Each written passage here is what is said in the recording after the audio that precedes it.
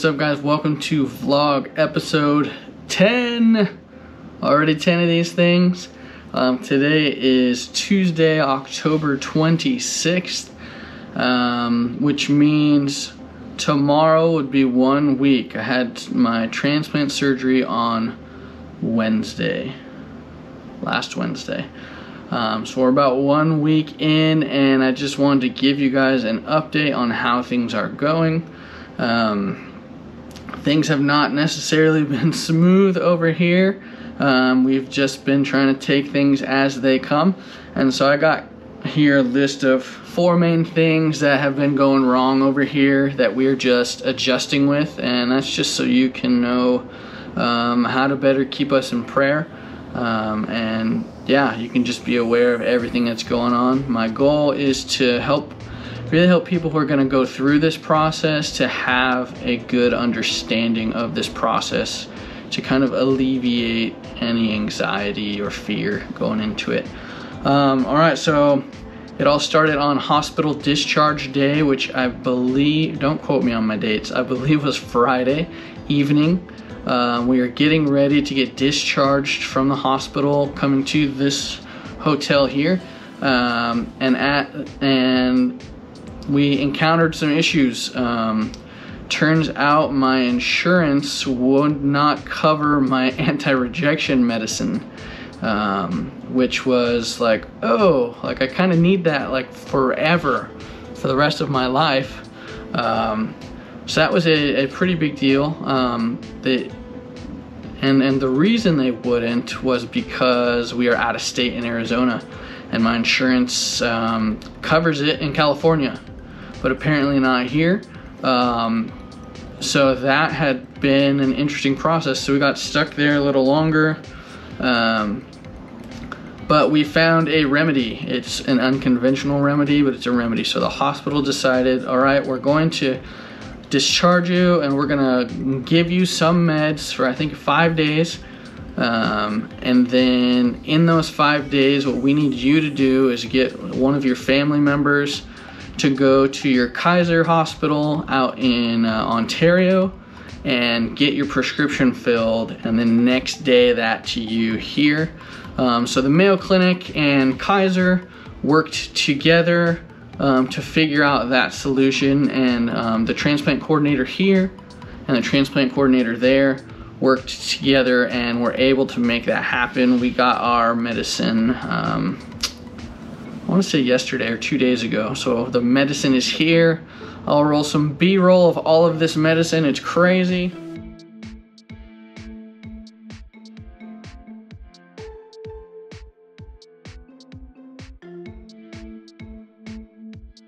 yeah, that was kind of an unforeseen obstacle. We had some hints that there could be issues, um, but yeah, I don't know. It's something about just hearing that, hey, your medicine you need to not reject this kidney is not covered was just like, oh man, okay. Like, whew, deep breath, take it one step at a time, uh, and we got that handled. So that was kind of the first obstacle we hit coming out um, of, of the hospital. Um, the second obstacle, well, Maybe I got these backwards. It's all right, you'll have to forgive me. Um, the, the second obstacle was the surgery itself. Um, I think I think I touched on it a little bit in the last video or two videos ago. Um, but I found this chart right here. I'll put it on the screen to kind of help you better understand what happened. So if you look at the top of this chart, it has like the old um, wrinkled up shriveled kidneys at the top and it has these two tubes coming down to those, which are ureters, which is going down into the bladder. And then if you look um, most of the way down, you'll see like a hip bone and you'll see the fresh kidney there. Um, and so typically that's where they're gonna put your fresh kidney. Um, but because of my previous surgeries and my abdomen and just the mess that is my organs um, that was not able to work and so uh, they had to do something a little bit unconventional um, so if you notice the the healthy kidney down there at the bottom has the I believe it's white um, tube coming off of it. That's called a ureter. So when you get a transplant, they're gonna transplant the donor's kidney and their ureter. They're gonna put the kidney kind of down in the pelvis there, and then they're gonna run the ureter and attach it directly into the bladder. Um, but because my bladder was so uh, scarred up and messed up, um, it just didn't seem like a viable option. So what they did is they put the kidney on the other side. So on, the new kidney's on the left. Now I have two kidneys on the left.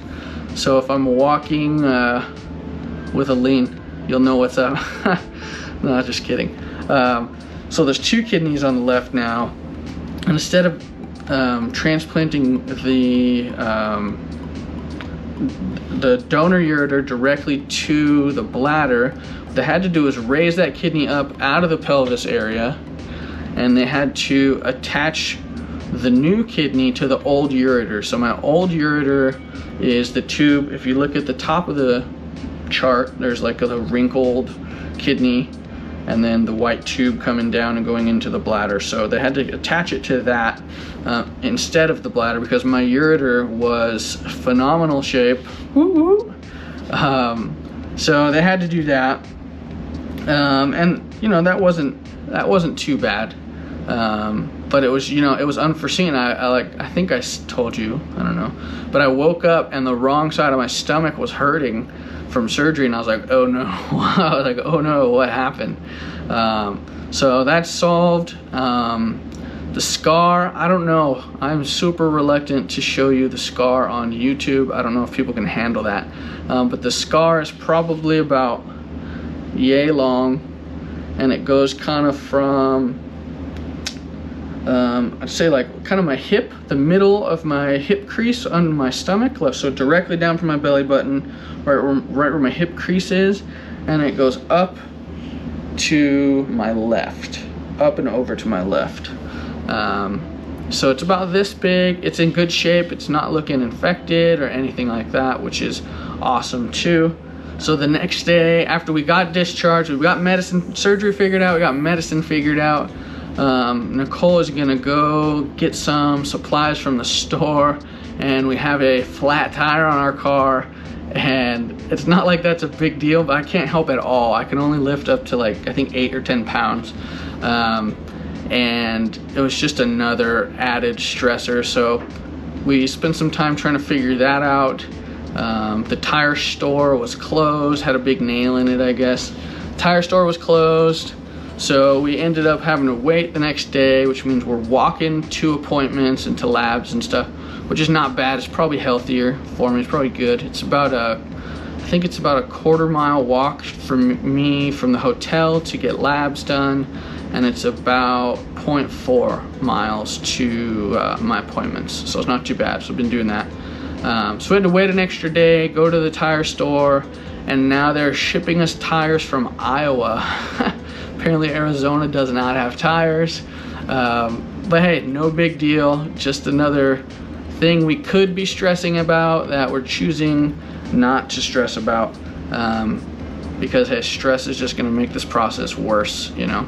Um, so after that, we had uh, the infamous ER visit. I had to go into the ER for some issues. Um, I think I have some footage of that that I'll roll for you here. Hey, what's up guys? Sunday, October 24th, and I am back in the hospital. Um, we were at the ER. We got sent in due to some, how do we put this delicately? Liquidy bowels? I don't know. Um, but I think the meds need adjusting and I might need some hydration. Um, so we are here at the ER having another go at the hospital. Um, feeling okay, feeling in, you know, pretty good spirits. Um, not necessarily wanting to be at the hospital, but uh, they're gonna be taking good care of me. And uh, Nicole has been a rock star. We already got a flat tire today. She got that changed. She got me to the ER. It was a brisk quarter mile walk from our hotel to the ER. You know, if you're walking to the ER, you're not that bad, right? Um, but yeah, she changed. She got our tire changed. She got me to the ER. She's feeding me. She is awesome. And let's let her tell you how she's feeling. Hey, it's Nicole. I'm. Uh, we're back in the hospital, so mask is on. Um, we are here. Jon had his first bowel movement yesterday, and then ever since has been um, what they would call watery. So we are. Um, we have a on-call nurse we can call over the weekend, and her name's Melody. She's been amazing, but um, I feel like I've been calling her for different issues, and she's with this one recommended. She warned us yesterday that if he if it kept up, that he would have to go to the ER overnight.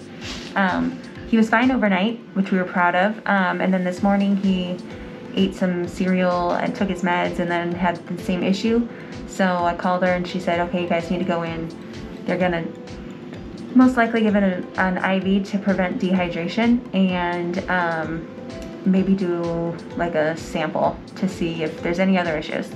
So they're just trying to make sure there's no no problems that we're un, we're unsure of. So we may be here for a bit. We may be here quickly. We don't know yet. Um, but every time you come in, you have to bring everything, all his um, data we've been tracking, all his meds, and um, snacks for my for me.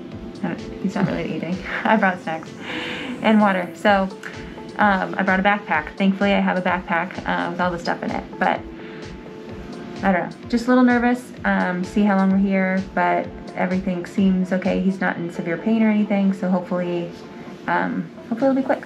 All right, that is all. I don't know what to say, so sorry if I'm rambling, but thanks.